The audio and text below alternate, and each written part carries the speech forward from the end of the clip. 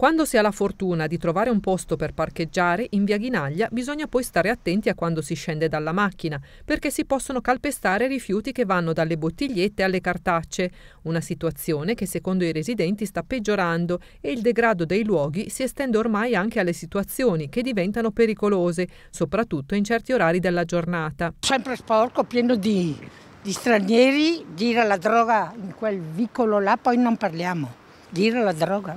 Promettono ma non fanno niente. Eh. Alla sera non esco mai, mai neanche il pomeriggio della paura, perché è diventata schifosa Cremona. Tutti fanno quello che vogliono, buttano in terra musiconi sporco, fazzoletti, una cosa vergognosa. Anche le persone per la strada devi aver paura. Mi si è fermata una l'altro giorno, si avvicina, mi guarda la borsa, questa qui ha qualche intenzione. In giro qua, Ma poi no, è, una cosa, è diventata una cosa oscena. Io la sera non esco mai perché eh, esco solo quando devo andare a lavorare. Tutti abbiamo anche in casa la porta blindata, per dire.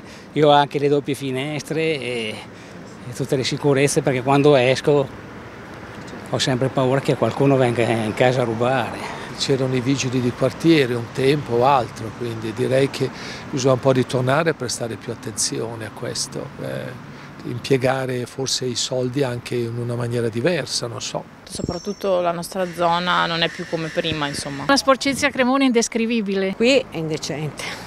È una cosa incredibile vedere Cremona in queste condizioni. La sera non esco mai. Lo sdegno e la paura sono sia nelle parole che nei comportamenti delle persone, che riadattano le loro abitudini e necessità in base ai momenti di maggior tranquillità della giornata, situazioni per cui chiedono controlli, interventi e soluzioni.